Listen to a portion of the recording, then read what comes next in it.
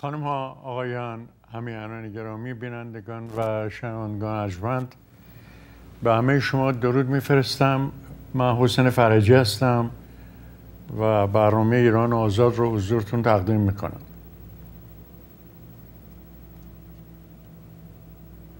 اخیرا همه شما در اخبار شنیدید که ایالات متحده اعلام کرده که بسیاری از سازمان های دولتی و مدیران این سازمان ها و شرکت ها سپاه پاسداران بسیج تمام نهادها و سازمان هایی که با دستگاه های امنیتی ایران سر کار دارن و بعضی هم که ارتباطی از این جهت ندارن ولی در جاهای دیگه از کسانی بودن یا سازمان های نهادهایی بودن که تحریم های قبلی رو دور می زدن و در حقیقت پولشویی هم می‌کردن. از جمله نهادها و سازمانهایی که ایالات متحده بهش تأکید کرد و دست گذاشت روش یکم ثروت بی حساب مقام معظم رهبری یعنی رهبر چاقوکشان جهان بود. که برای چندمین بار البته این اتفاق افتاد و حتی شماره های حساب دفتر مقام معظم رهبری حضرت آقا فاش شد که یه چیز بوده بین 90 تا 120 میلیارد دلار. در بیت ایشون و دست و پای ایشون این پول ها وجود داره. بین 90 تا 120 میلیارد دلار. درست شنیدید از اون زمان تا به حال. حالا نه که قبلا نبود چرا؟ به مناسبت های مختلف این دور قابچین هایی که متاسفانه در طول تاریخ ما زیاد بودن حالا یه اشاره دیگه بعدا خواهم کرد. اینا شروع کردن راجع به پاک دستی مقام معظم رهبری صحبت کردن مثل احمدی نژاد. که می‌گفت دولت من پاک دستترین دولت در طول تاریخ ایرانه. اینا یه چیزی راجع به گوبلز شنیدن که می‌گفتن در دستگاه تبلیغاتی آلمان نازی گوبلز وزیر تبلیغات اعتقاد داشت که دروغ هر چی بزرگتر باشه زودتر جا میفته تو جامعه. چون مردم میگن آقا دروغ به این بزرگی دیگه نمیشه ساخت. اینا حالا از, از اونجایی که البته عده زیادی از مؤمنین در طول تاریخ همشون دروغگو بودن و دروغای بزرگ بزرگ بزرگ بزرگ می‌گفتن این کارشون خیلی عادیه دیگه. حالا از این آقای مهاجرانی در لندن که به دلیل اینکه پسرش با دولت عربستان سعودی ارتباطاتی برقرار کرده بود و مبالغی پول می‌گرفت. این روزنامه ایران نوشتم من نمیگم. این وزیر محبوب ارشاد خاتمی و محبوب آقای هاشمی رفسنجانی که یه دفعه پیشنهاد کرد. من پیشنهاد می‌کنم که آقای هاشمی رفسنجانی برای همه عمر رئیس جمهور باقی بمونه. ایشون همین تقریبا یک سال نیم قبل بود که در تلویزیون بی بی سی اظهار نظر کرد که ایده راجع به آقای خامنه ای حضرت آیت الله خامنه ای اظهار نظر می‌کنن و می‌خوان زندگی ایشون رو خاکستری نشون بدن. نگفت سیاه خاکستری. ولی من معتقدم که آقای ماجرانی گفت نه تنها زندگی ایشون کوچکترین نقطه خاکستری توش نیست بلکه سفیده سفیده سفیده و ایشون آدمی است که زندگیش ضرب المثله از پاچی که البته عده زیادی به ریش کم ایشون خندیدن. راجع به این حرفاش یاد مرحوم گوبلز افتادن اما این آقای مقام معظم روزخانه بزرگ و رهبر چاوکشان جهان یه رئیس دفتری داره به اسم محمدی گلپایگانی. تقریبا یه 400 500 کیلو وزنشه. آدم بیبو و خاصیتیه. میگن اهل شعر هم هست. حالا البته مثل همون اندازه که حضرت آقا به شعر واردن. ایشون در ضمن پسرش داماد حضرت آقا هم هست. این آقای گلپایگانی. یک بارم اظهار فضل کرده بود اوایل که حضرت آقا شده رهبر مستضعفین خود ساخته جهان. و مسلمین جهان. این آقای گلپایگانی گفته بود که حضرت آقا به قدری از نظر مالی تحت مزیقه هستن که برای عروسی دخترشون از من قرض گرفت. حالا نمی‌دونم آقا یه مقداری از ایشون حق حساب گرفته بود نداده بود. ایشون به این طریق می‌خواست که یادآوری کنه یا فقط به خاطر اینی که بگه حضرت آقا چقدر وضعیت مالی خرابی داره. من چند بارم در این برنامه گفتم که این آقای رفیق دوستی ما داریم در ایران که ایشون وزیر سپاه بوده یه موقعی اون موقع سپاه وزارت خونه بود. فرمانده سپاه بوده رئیس نمی‌دونم این بنگاه مستضعفان و این چیزا بوده. و ید طولایی داره در اینی که مجیز بگه بلده. و یه دفعه گفت که داشتن کاخ ریاست جمهوری رو می ساختن اون موقع همین حضرت آقا رئیس جمهور بودن. گفت من رفتم دیدم که عمله ها دارن موقع نهارشون هندوانه می‌خورن. یه دختر بچه اونجا هست هی داره به با ولع تمام این هندوانه خوردن اینا رو نگاه می‌کنه. منم رفتم جلو گفتم که بچه جون شما کی هستی؟ گفت من دختر آقای رئیس جمهورم. گفتم که خب چرا اینجوری به اینا نگاه می‌کنی؟ گفتن که آخه من مدت هاست هندوانه نخوردم. گفتم یعنی چی؟ یعنی منزل آقای رئیس جمهور هندوانه پیدا نمیشه؟ اینا رو من داستان نمیگم. بریم بخونید ببینید. هست. تو آرشیو روزنامه هست. و ایشون گفتن که ما کپون میوه نداریم. این بچه گفت بعد آقای رفیق دوست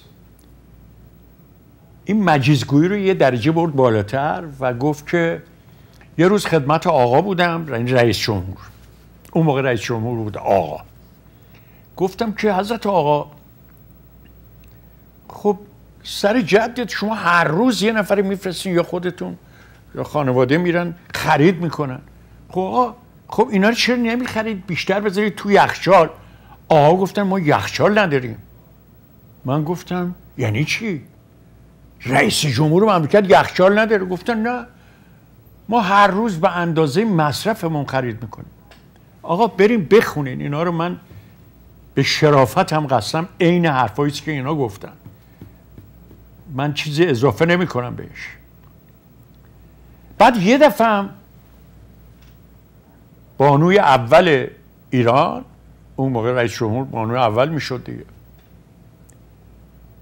گفته بودن که ما نهار آقا یه در دعوت کرده بودن منم سفره چیده بودم. و غذا رو گذاشته بودم. آقا تمام مدت که بعدا آمدن توی حرم سرا تو بیت اخم کرده بودن. منم پرسیدم آقا می‌تونم از شما بپرسم چرا اخم کردین؟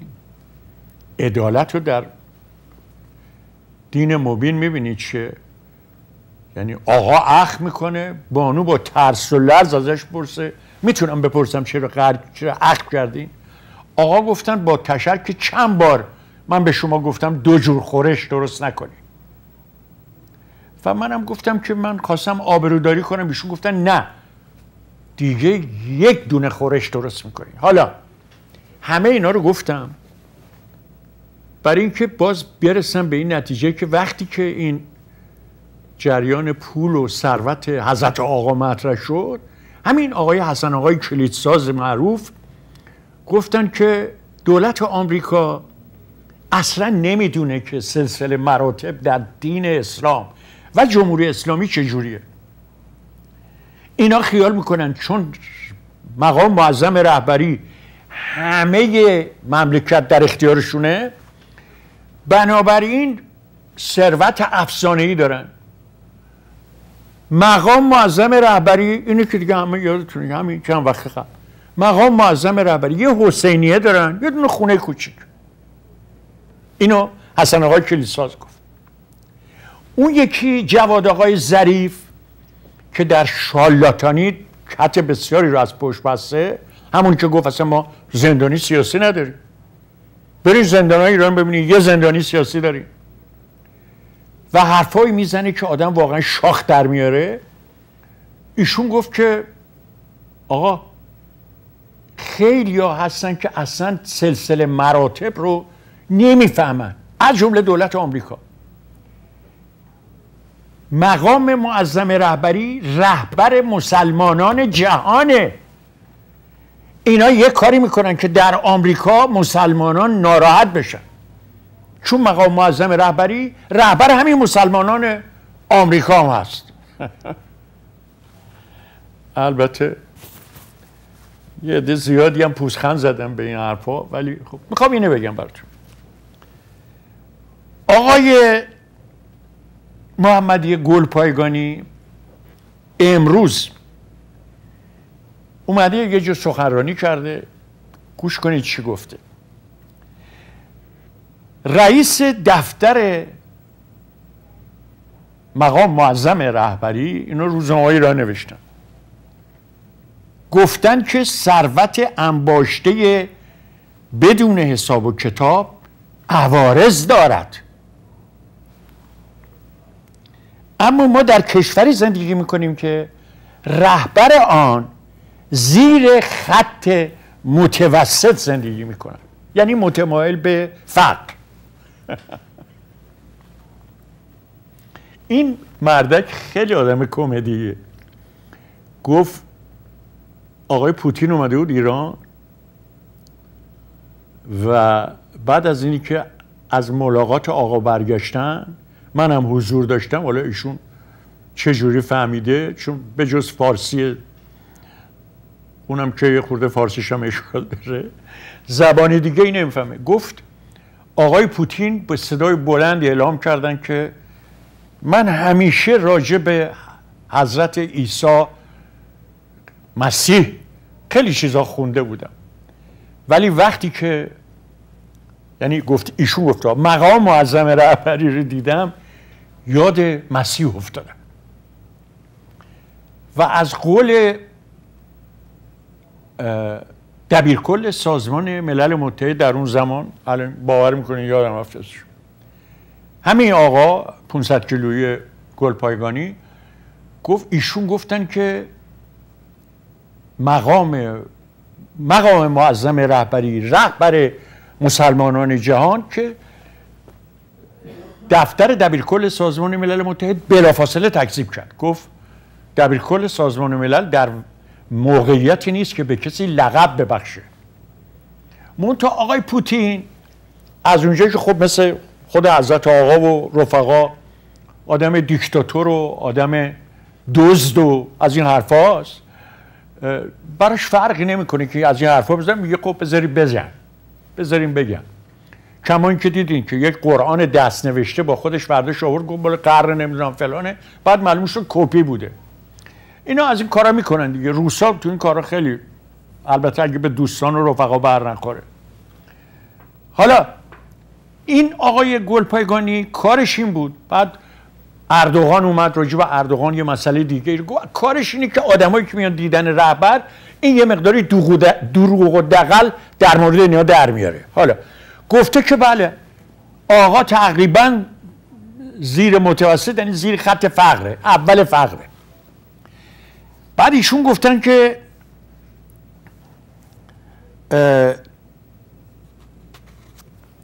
می‌خوام عین گفته های ایشون رو پیدا کنم. محمدی گل پایگانی گفته شنیدم در اطراف تهران بله همینم عکس ایشونه. شنیدم در اطراف تهران شهرکی است که در آن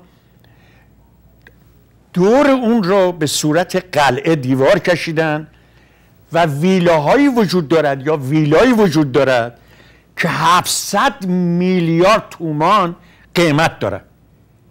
این نمایش ثروت و قدرت است که مگر قارون چه می‌کرد؟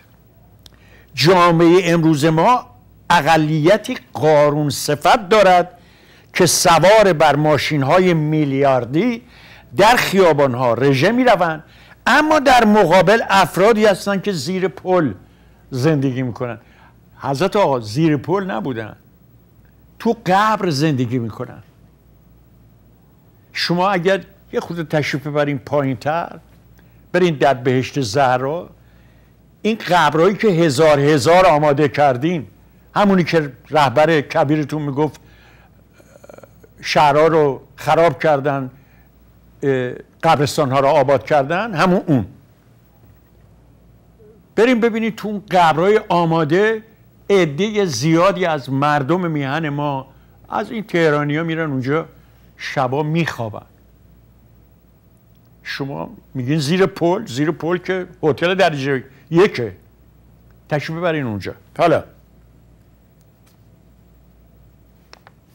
اینا صحبت است که مقام دف... رئیس دفتر مقام معظم رهبری راجع به ایشون فرموده. اما اینی که چرا مملکت ما اینطوری شده؟ می‌دونید که در جمهوری اسلامی همه دوست دارن role اقلیت رو بازی کنن. اپوزیسیون رو بازی کنن. یعنی کاری کردن که این اپوزیسیون واقعی دیگه یواش یواش دیگه خجالت میشه حرفی بزنه. چون خود اینا همینطوری راجع به همدیگه حرف می‌زنن و انتقاد می‌کنن و همدیگه رو لو میدن و حتی فحاشی می‌کنن استهزا می‌کنن و اینا رو هم فرستادن بیرون بعضیاشونو. اینا اومدن اینجا بسیاری از رادیوها و تلویزیون ها و اینا رو هم در دست گرفتن و از همین اصلاحات و می‌بینیم ثمراتشو.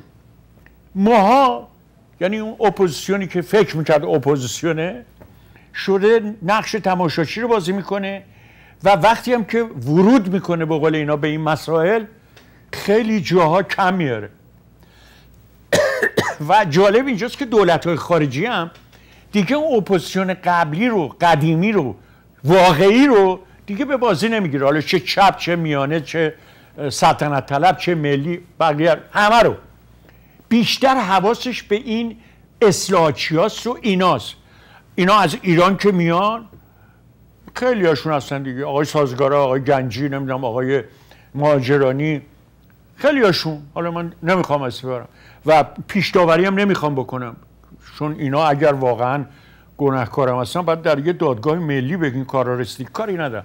ولی اینا میان شغل می‌گیرن در بسیاری از ادارات دولتی آمریکایی استخدام میشن اقامتشون فوری درست میشه جوایز متعدد بین المللی می‌برن. خیلی کارا می‌کنن.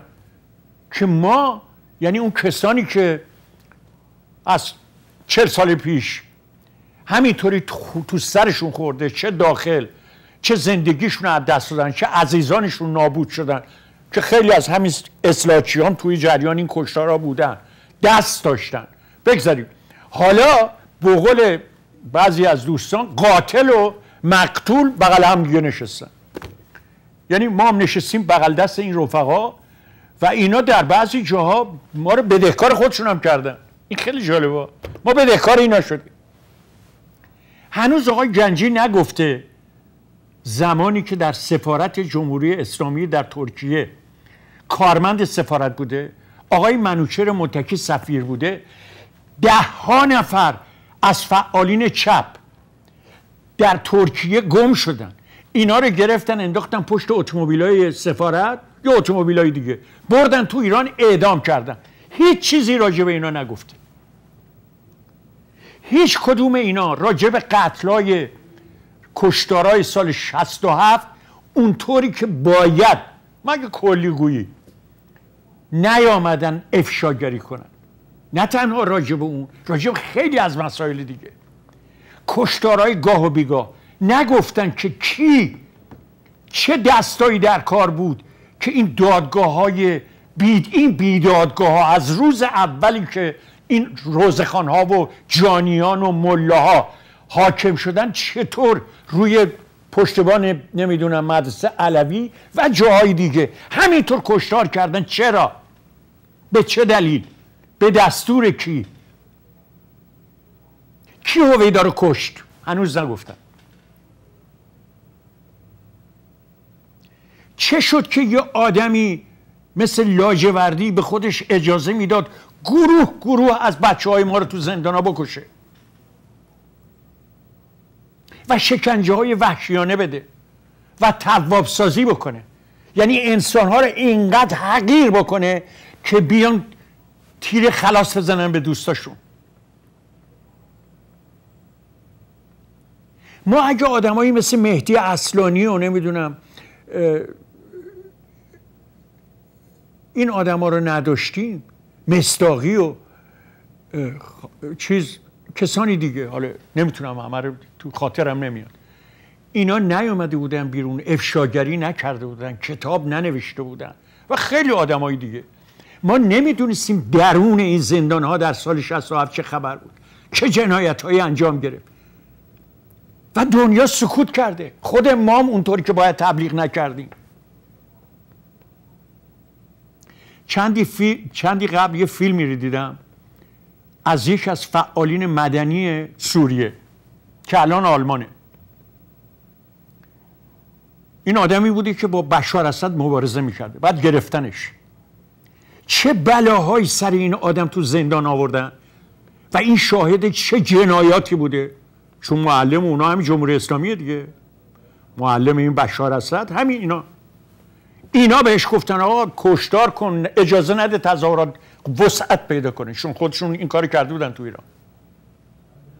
نه که اون جانی نیست اون پدرش هم جانی بود. در هومس سابقه داشت. ولی این بار دیگه با کمک جمهوری اسلامی و حزب الله و این مرد همه اینا رو افشاگری می‌کنه در آلمان و میره به اسرائیل. این جالبه. میره به اسرائیل. میره موزه هولوکاست می‌بینه. و میگه که تبلیغاتی که در جهان عرب نسبت به اسرائیل بود یه تبلیغات غلطی بود. و ای کاش ما به جای اینکه خون همدیگه رو بریزیم از در همکاری اومده بودیم و جلو. اون میگه من از گل اون دارم. بعد میگه میگه کاری که یهودیان کردن کاری که باید بهش اشاره کرد کارستان بود این بود که نذاشتن خاطره هولوکاست از بین بره. به هر نحوی شده. این خاطره رو زنده نگه داشتن. هرچند که ابعاد اون جنایت آلمانی هیتلری اصلا قابل مقایسه با اونا دیگه نیست. ولی در مورد ایران هم همینطوره. اونا اگر در عرض ده سال و 15 سال و 20 سال 6 میلیون یهودی رو کشتن یه میلیون و نیم کولی رو کشتن آدمای نمی‌دونم گی رو کشتن آدمای معلول رو کشتن اینا در عرض سه ماه. جمهوری اسلامی در عرض سه ماه بین پنج تا بیست هزار نفر رو کشت. از ابتدایی که این وحوش اومدن بر سر کار تا همین الان که من با شما صحبت می‌کنم ده ها هزار نفر. بذارین این انقلاب کوفتی از بین بره. بذارید گور اینا گم بشه. اینا به زبالدان به قول ما تاریخ سپرده بشن. تا ابعاد جنایت که اینا کردن رو بشه. هنوز نمی‌دونیم ما. من می‌تونم بگم تا دو سه میلیون آدم کشتن اینا.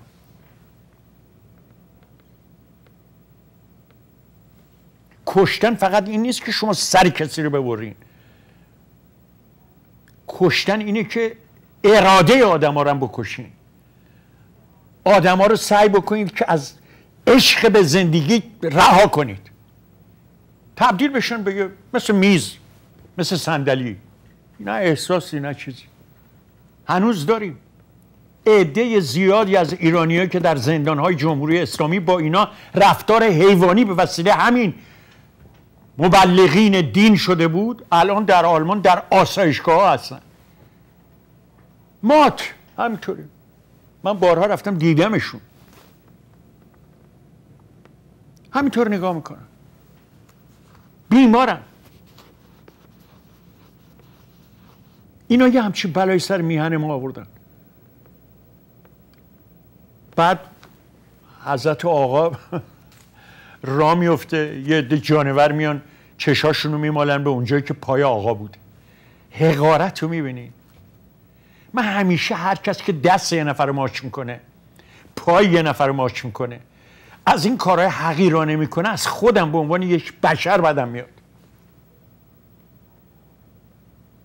چندی قبل دیدم که شاهزاده رضا پهلوی آقای رضا پهلوی رفته توی مجلس یه عده دستشو ماچ می‌کنن. اونم نکشیده دستشو و من اینجور وظیفه خودم می‌دونم. بگم آقای رضا پهلوی شاهزاده رضا پهلوی شما الان در قدرت نیستی یه آدم معمولی ایرانی به قول خودت هستی. اجازه نده این مجیزگویی ها این کارای احمقانه است واقعا.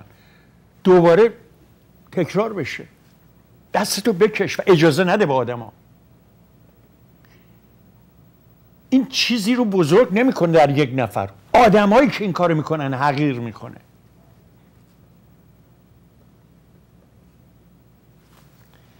اما یه خبری براتون بخونم.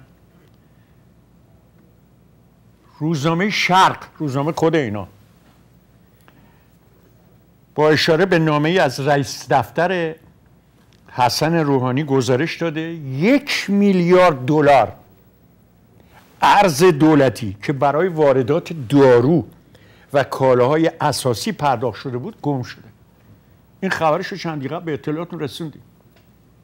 گم شده. گفتم بریم فنر بخریم برای قلب رفتن کاب خریدن. بعدم با 400 و ارز 420 دلاری 420 تومانی رفتن خریدن. بعدم ارزا رو فروختن 12 هزار تا 14 هزار تا در رفتن فرار کردن رفتن. مملکت رو می‌بینیم بعد خود حضرت آقا هیئت دولت نمایندگان طویله مجلس اون مجلس خفتگان شورای نگه همه انتقاد می‌کنه. از کی؟ معلوم نیست. همه از هم دیگه انتقاد می‌کنه جریان آی دزد آی دزده. دنبال دزده کردم گفتن آی دزد خود دزده آی دزد. یه فیلمی هست. اجازه بده این فیلم پخش کنیم بعد من گفتگو می‌کنم با دوست بسیار گرامی آقای مهندس کردستانی در پاریس. ایران اعلام کرده 17 تا جاسوس آمریکا رو ما دستگیر کردیم. آقای پومپئو آقای دونالد ترامپ اینا مقامات وزارت خارجه آمریکا همه اینا تکذیب کردن گفتن آقا اینا همیشه دروغ گفتن همه دروغشون حالا این فیلم رو نگاه کنید همه انانی گرامی جالبه.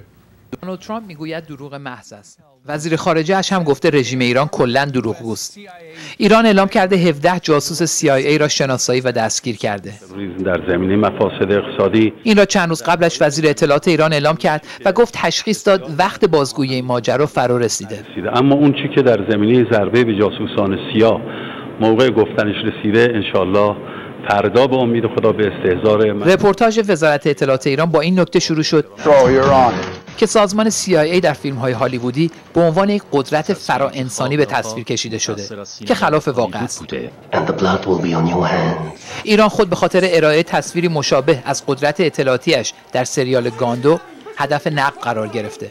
پروسه جذب نیروها اما برخلاف سریال گاندو اینجا وزارت اطلاعات است و نه اطلاعات سپاه که قدرت ضد جاسوسی خود را به رخ می کشد در این برنامه تلویزیونی وزارت اطلاعات شرح می‌دهد که چگونه سازمان CIA کوشید از طریق ماموران خود ایرانیان پیمانکار یا مشاور سازمانهای رد بالای حکومتی را جذب کنند. جاسوسان حرفه‌ای سیا در دستگاه‌های مهم و حیاتی در داخل کشور سازمانهایی مثل وزارت دفاع، نیرو انتظامی و یا مراکز هسته‌ای در این قسمت از گزارش صحنه‌هایی از گفتگوی رابطان CIA با افراد ایرانی نشان داده می شود که رعایت احتیاط به آنها را توصیه می کند.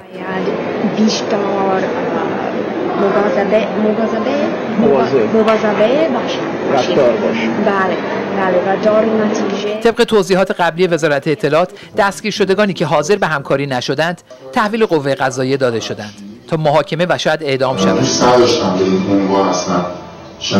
آنهایی که همکاری کردند به عنوان جاسوس دو جانبه ایران با CIA در ارتباط ماندند. با به کارگیری پیشرفته این بار دوم است که ایران اعلام کرده یک شبکه جاسوسی CIA را متلاشی کرده. بار اول 8 سال پیش بود که خبرش را ابتدا رسانه های آمریکایی به نقل از مقامات اطلاعاتی آن کشور داده بودند.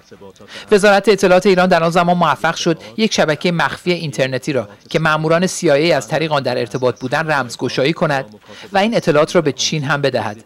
مقامات آمریکایی در آن زمان این ماجرا را به عنوان یکی از گیج کننده ترین شکست های اطلاعاتی خود توصیف کردند. آماده هستم که هم دیگه اما دستگاه های اطلاعاتی ایران در سالهای اخیر بارها هم گزارش های از دستاوردهایشان پخش کردند که به تایید منابع مستقل نرسیده. ولی اگر روایت امروز وزارت اطلاعات ایران درست باشد، یک تلاش دیگر CIA این بار تحت لوای دولت ترامپ برای رسوخ در زیرساختهای ایران بار دیگر ناکام ماند.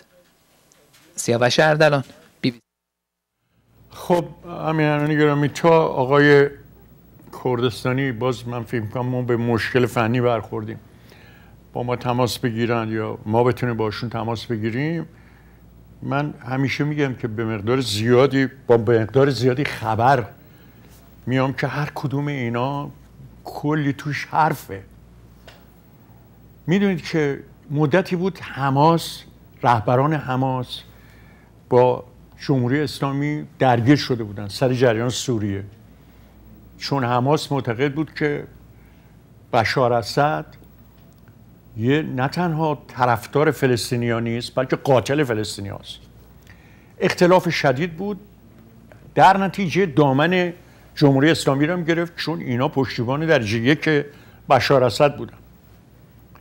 بعد در نتیجه فلسطینی هم که خب هر کی پول بیشتر بده میرن طرف اونا دیگه. مثل حزب الله منتها حزب الله برای چندین سال وضعیتش محکمه. اون تا حالا نرفته این اما خیلی جایی دیگر داشتیم. از جمله مثلا کشورهایی بودن که سودان یکیش. مثلا که عمر البشیر سالها بود از ایران پول می‌گیره پایگاه سپاه پاسداران درست کرده بود. بعد وسط کار عربستان پول بیشتری بهش داد. رفت اون طرف. بگذاریم.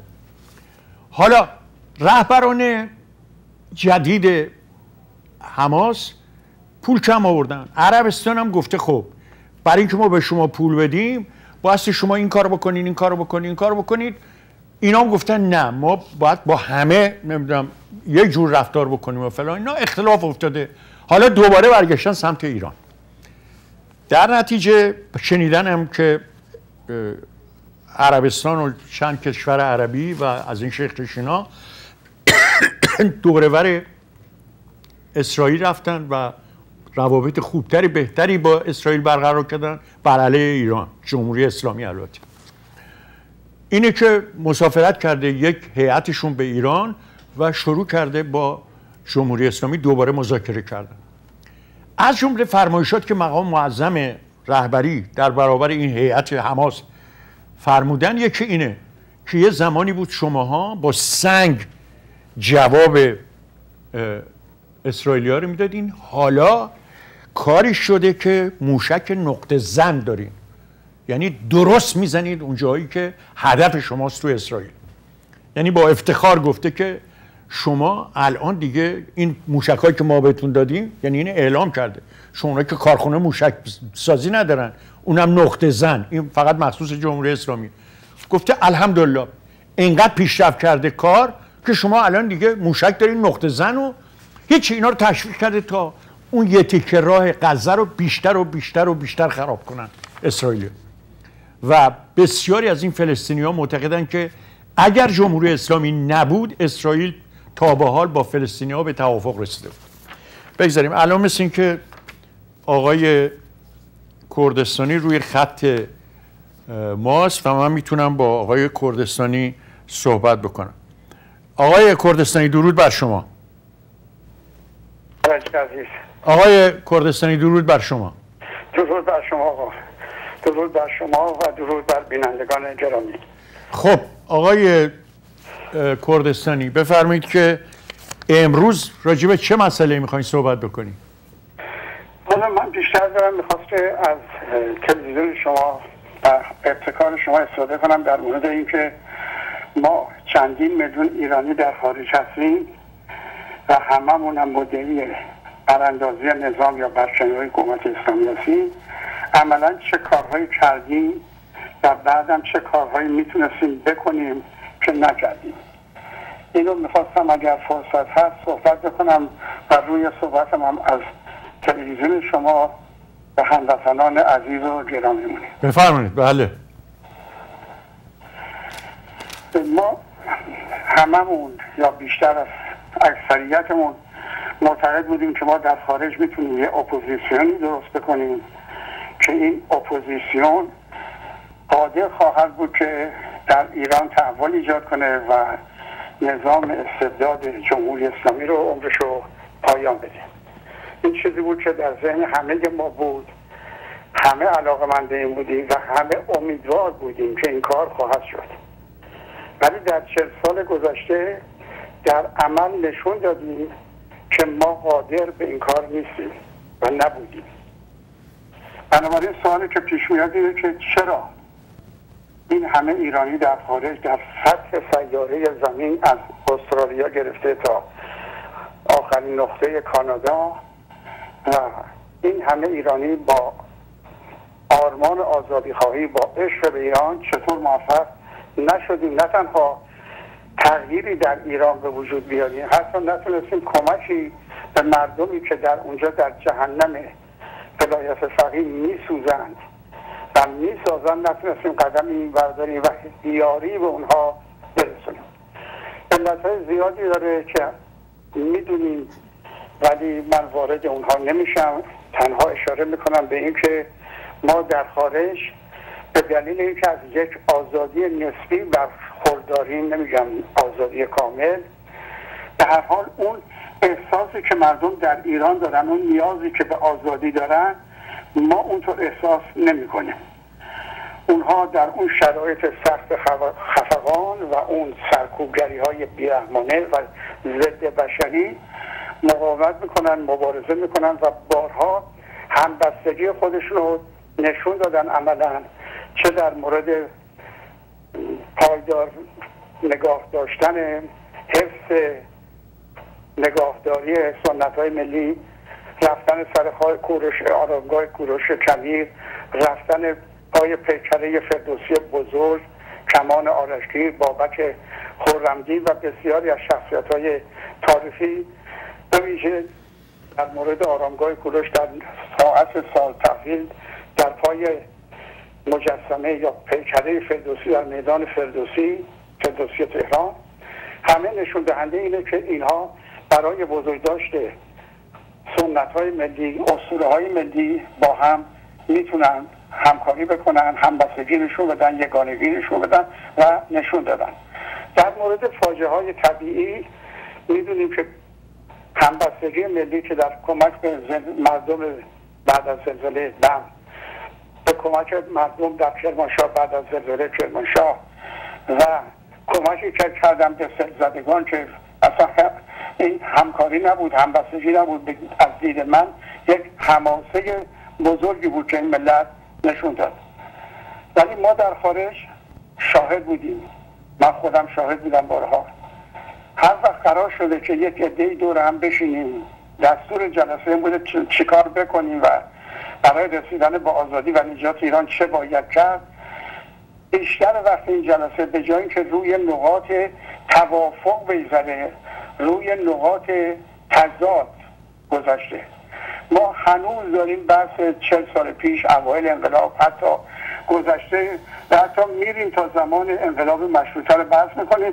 و طبیعتا چون همه دید یکسانی نسبت به تاریخ گذشته ندارن باعث نفاق میشه و آخر سرم با قرض کردن از هم جدا میشه.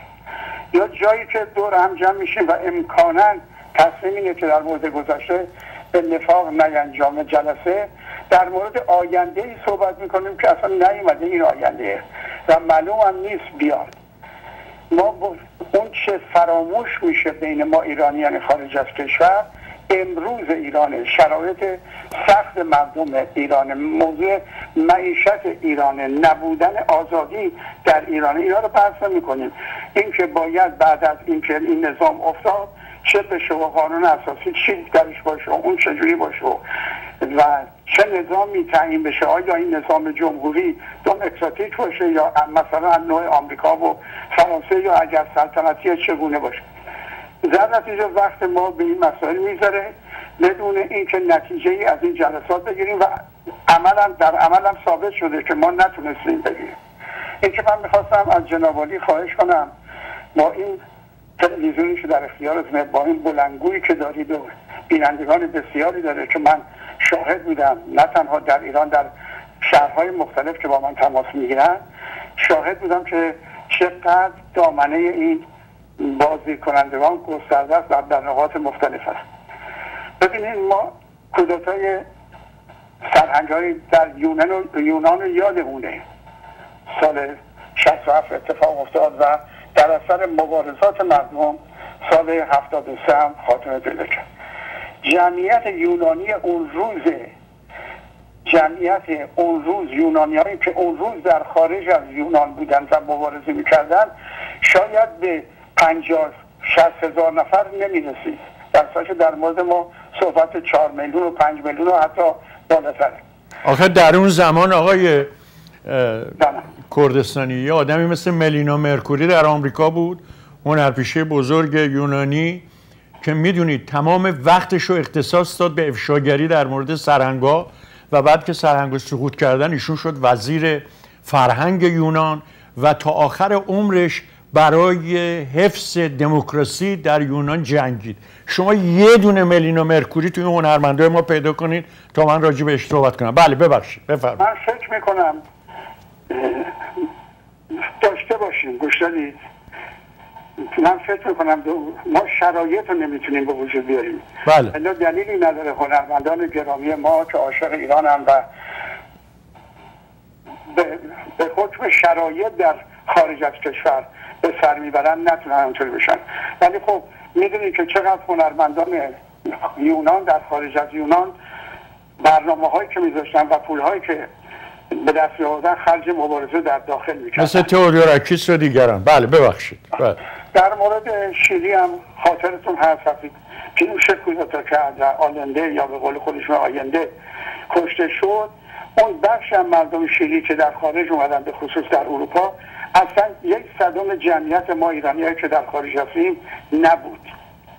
و ببینید اینا چقدر چه کاره کردن؟ من در پاریس شاهد بودم. چه جلساتی میذاشتن؟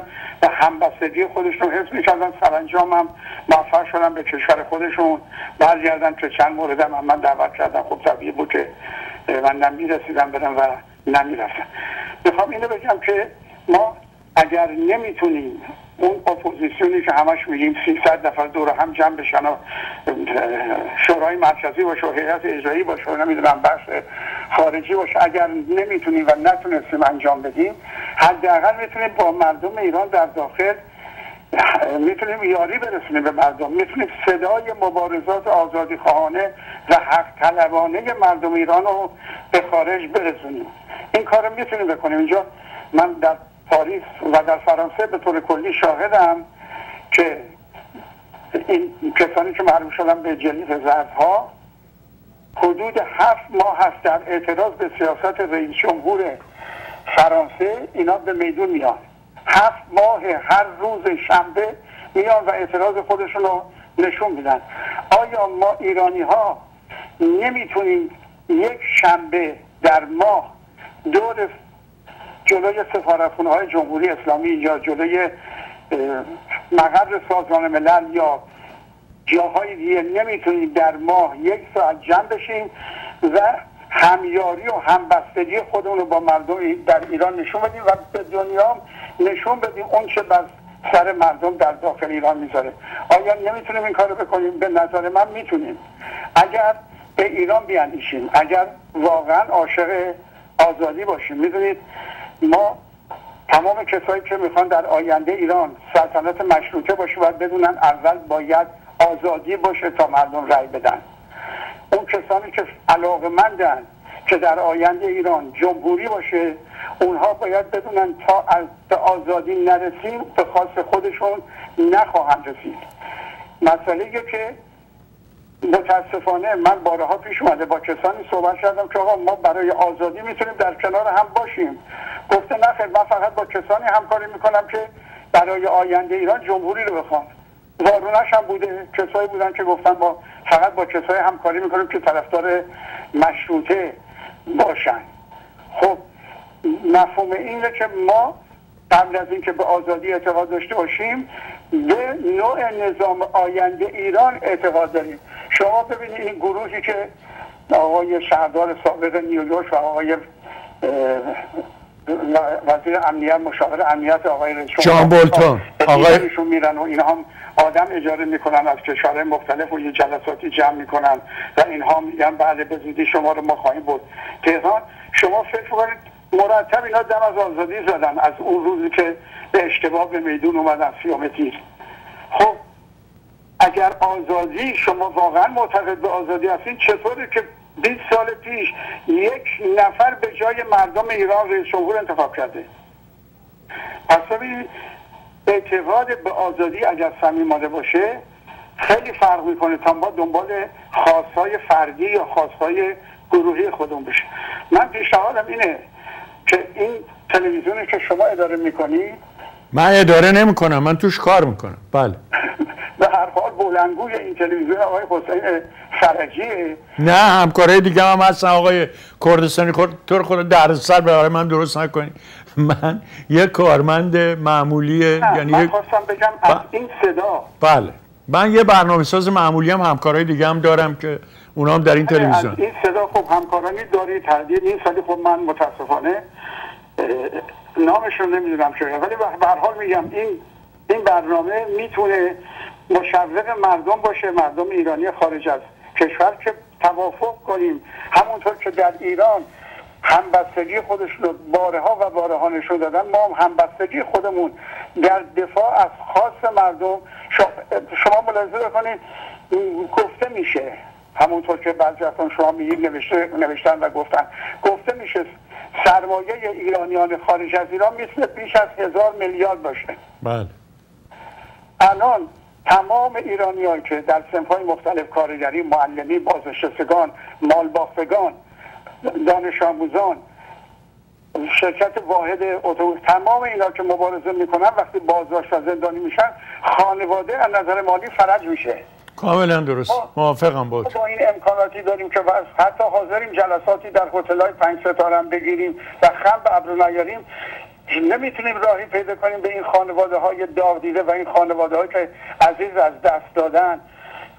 لاقل به یه شکلی از نظر مالی به اینا کمک کنیم. حتی شده از مؤسسات بین المللی کمک بگیریم. ببینید در یورشی که به خوابگاه دانشجویان بردن سال 78 یکی از دانشجویان هفت نفر که کشته شدن یکی از دانشجویان به نام سعید زینالی اصلا ناپدید شده.